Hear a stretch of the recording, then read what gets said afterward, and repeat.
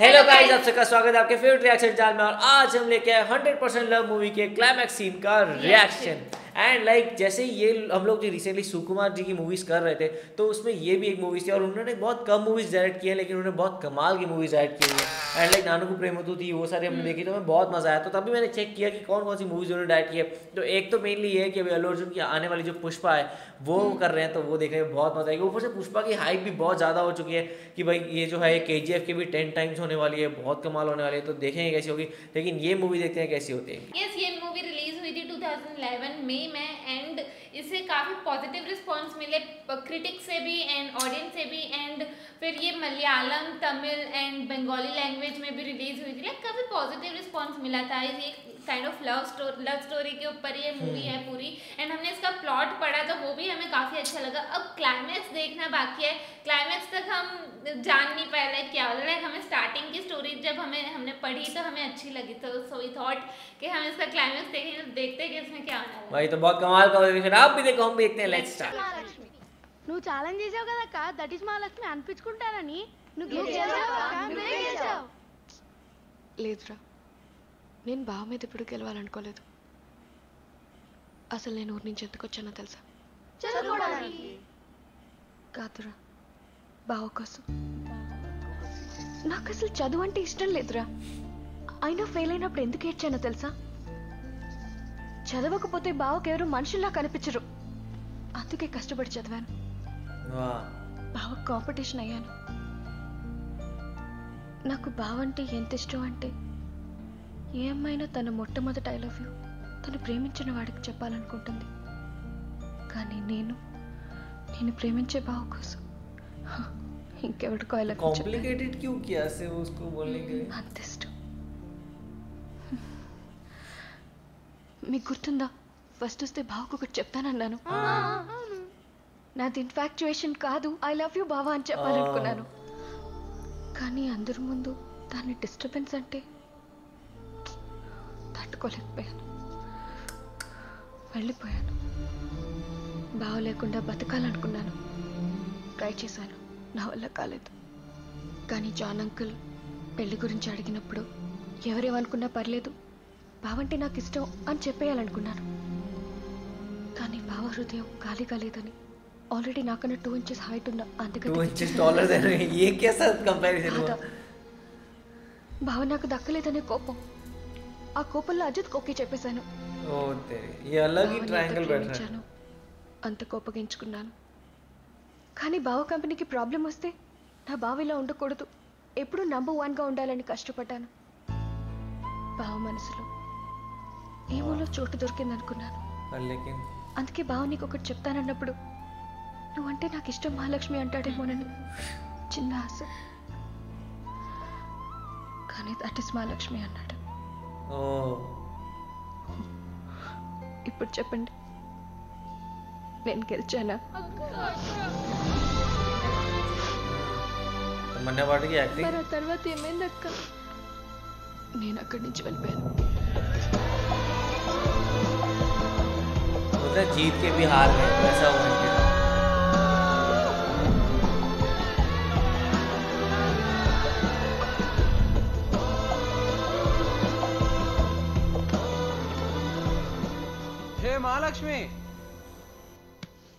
ఇక్కడున్నావా ఏంటి? మధ్యలో వచ్చావు? నేనేమన్నానో తెలుసా? That is Mahalakshmi. That is Mahalakshmi. నీకు అదే కథ కావాల్సింది? ఏంటి షాక్ అయిపోయావా? నేనే అలా అన్నానని షాక్ అయిపోయి ఉంటావు కదా? నువ్వు హ్యాపీయే కదా మహాలక్ష్మి? హ్యాపీ బావా. నేను చాలా హ్యాపీ ఈ దెబ్బతో మన కంపెనీ ఎయిటీ క్రోర్స్ దాటేస్తుంది ఎయిటీ క్రోర్స్ ఏంటి బావా సిక్స్ మంత్స్ ఆకు అజిత్ కంపెనీని కూడా క్రాస్ చేస్తుంది అజిత్ उसके नाम से ही आग लगती అజిత్ है కంపెనీని క్రాస్ చేస్తుంది అంటే ఇప్పుడు వరకు క్రాస్ చేయలేదనేగా బావా అజిత్ ది పెద్ద కంపెనీ कैसे ऑपोजिट ले लिया हाँ, उन्होंने तो वही। इतना पॉजिटिव स्टेटमेंट दिया बट वो ड्रंक भी तो है ना हाँ। अभी। నీకెప్పుడు అజిత్ గ్రేట్ కదా Ajit is always great to you not me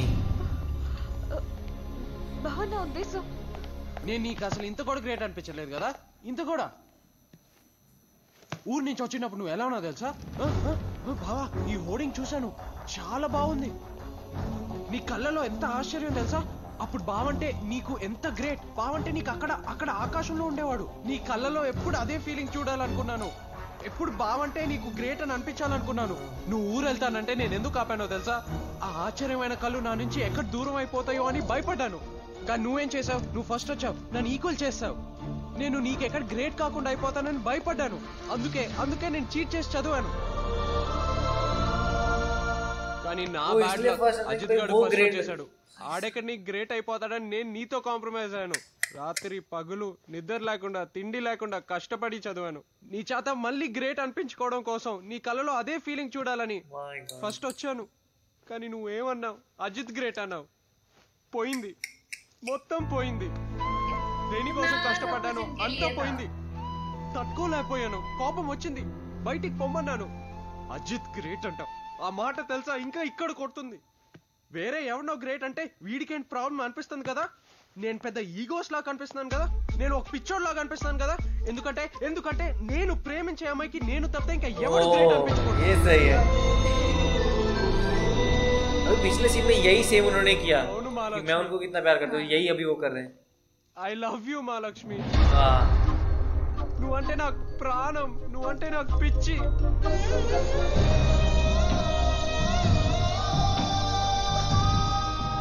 మర్దలే కదా. ఎక్కడికి పోతుందిలే అనుకున్నాను.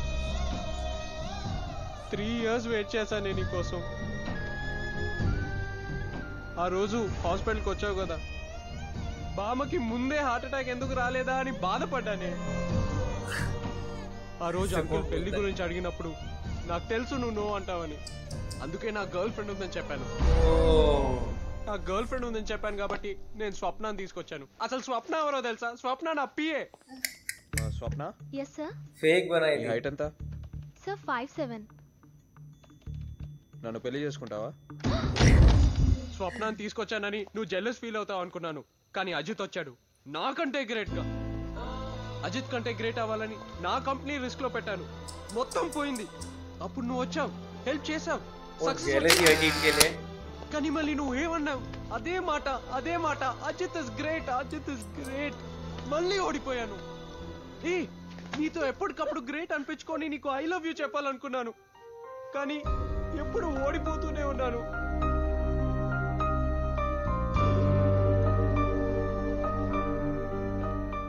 నేను గ్రేట్ కాదు మహాలక్ష్మి. నేను జస్ట్ బాలుని అంతే. तो मन्ना भी कुछ बोल रही నా సక్సెస్ ఫెయిలియర్ అంతా నువ్వే మహాలక్ష్మి నువ్వు లేకపోతే నేను లేను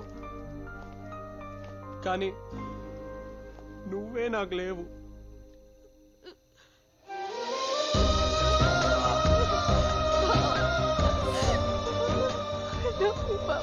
बालू की भी एक्टिंग काफी अच्छी लगी వద్దు మహాలక్ష్మి ఎవడి ఫస్ట్ ర్యాంకో నాకు మోస్ట్ వేసినట్టు अभी भी उनको लग వేరే रहा ఎవడి है ప్రేమలో నాకు as a most charity to me कब समझेंगे दोनों के दोनों एक टाइम पे वो जिनको खाने सुना रहे हैं वो भी रो रहे हैं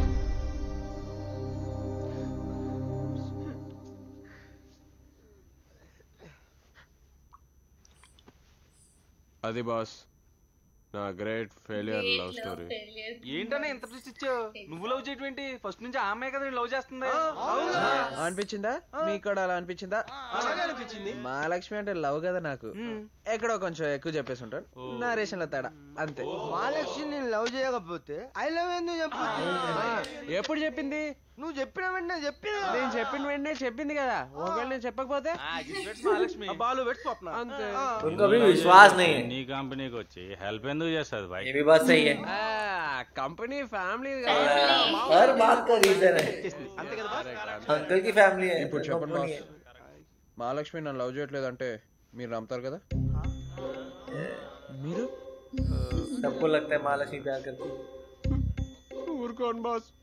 నా ఈగో అంతా పక్కన పెట్టి ఇంత కథ చెప్తే మీరు ఎవరు నమ్మరండి బాస్.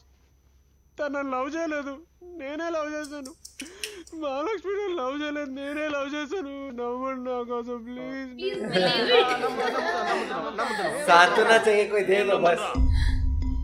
అక్కడ ఎవరు నమ్మట్లేదు అంట అక్కడ నమ్మట్లేదంట. వెళ్ళి చూడండి.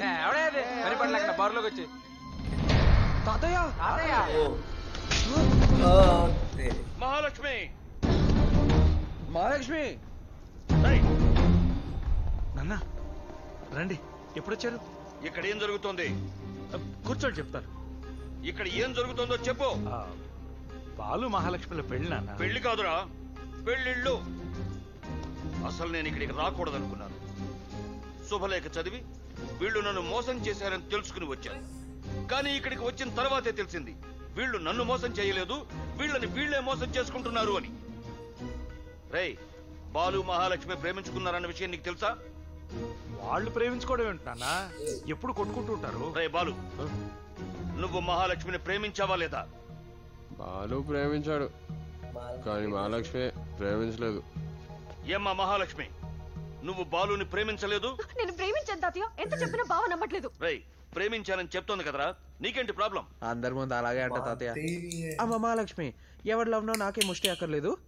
అజిత్ గాడి గ్రేట్ ఆడిని వెళ్ళి పెళ్ళి చేసుకోపో చూడు తాతయ్య ఎలా అంటున్నాడు? నేను టెండూల్కర్ గ్రేట్ అంటే టెండూల్కర్ టెండూల్కర్తో పోల్చేస్తుంది. అంటే ఆడొక టెండూల్కర్ నేడొక గల్లీ క్రికెటర్. చూడు నన్ను ఇరిటేట్ చేయదు నాకు కోపం వస్తుంది. నేచురల్గా నీ కాపమే వస్తుంది మహాలక్ష్మి? నా మీద లవ్ లేదు కదా. జస్ట్ ఇన్ఫాచుయేషన్ అంతే. నీకు తెలుసా? నేను ఎలా ఫీల్ అయ్యేదానో నీకు తెలుసా? నువ్వు ముట్టుకుంటే ప్రాణం పోయేది. ఇప్పుడు కూడా నిన్ను హక్ చేసుకోవాలనుంది. నీ నుంచి ఇంత దూరం కొనడం ఎంత కష్టంగా ఉందో తెలుసా? రేయ్ ఆడపిల్లందరి ముందు సిగ్గుబడి చెప్తుంటే కూడా నువ్వు నమ్మనంటావేంట్రా అయ్యో తాతయ్య. అదొక పెద్ద ఐస్కంత తాతయ్య నానం టైపు. నా లాజిక్ ఏంటంటే నా మీద అంత ఫీలింగ్స్ ఉన్నప్పుడు అజిత్ ఎందుకు? చెప్పండి. నేను అజిత్ లవ్ చేశానా? నే- చెప్తాను. అజిత్ నేను నీకు ఎప్పుడు ఓకే చెప్పాను. ఇండియా వచ్చే ముందే కదా? బావ నమ్మట్లేదు.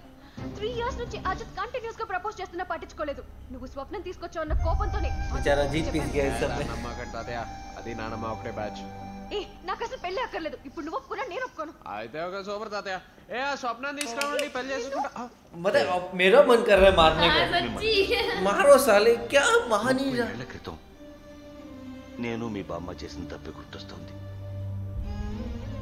ఆహాలతో ఇంత దూరం తెచ్చుకున్నాం ఎలా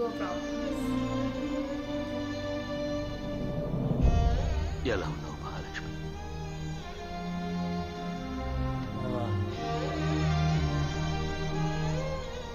ఇదిరా మా పరిస్థితి.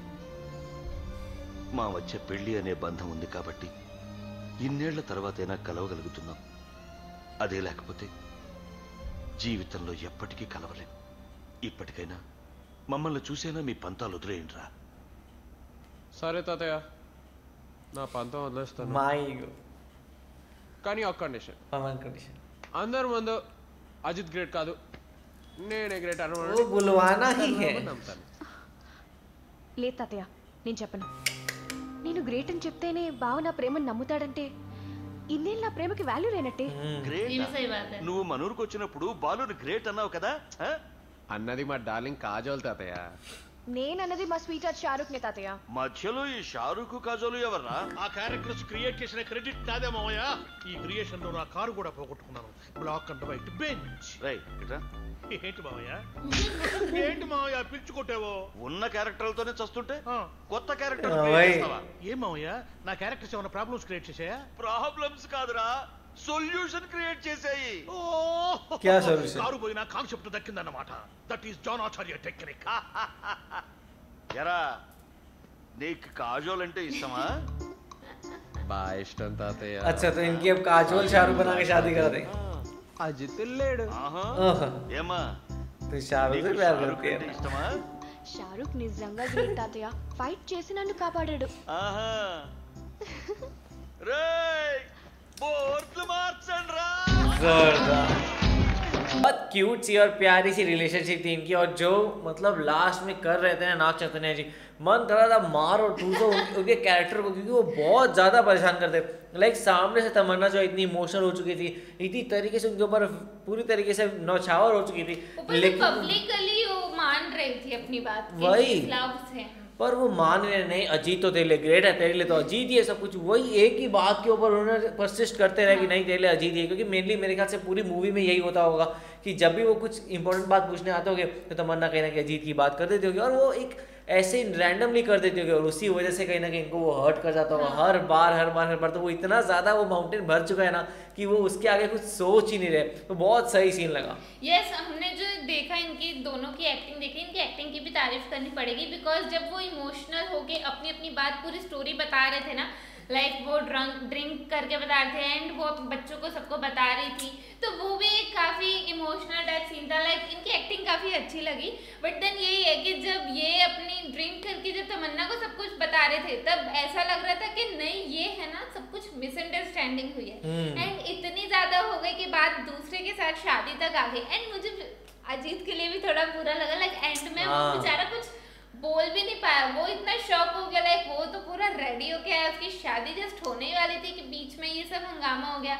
उसके लिए थोड़ा बुरा भी लगा but in the end end जो इस मूवी का वो हैप्पी एंड हुआ।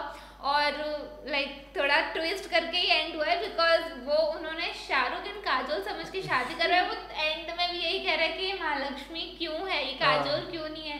तो थोड़ा अलग सा सीन था बट मज़ा आया सीन देख के। वही और मेनली बस ये कि अजीत का तो कैसे था कट गया और वही हुआ उसका बेचारा इतना पूरा मूवी में सब मेहनत किया फ़र्स्ट आया लेकिन लास्ट में कुछ मिला नहीं और खाली हाथ ही और वो जैसे महालक्ष्मी बता रही कि तीन साल से वो ट्राई कर रहा था उसके ऊपर तो अभी बेचारा कुछ नहीं रहा। तो बहुत सही सीन लगा बहुत कमाल की हो आप लोग कैसे लगा और कैसे ज़रूर बताएगा और ऐसे लाइक करते जाइए कमेंट करते जाइए शेयर करते जाइए। सब्सक्राइब करते जाइए।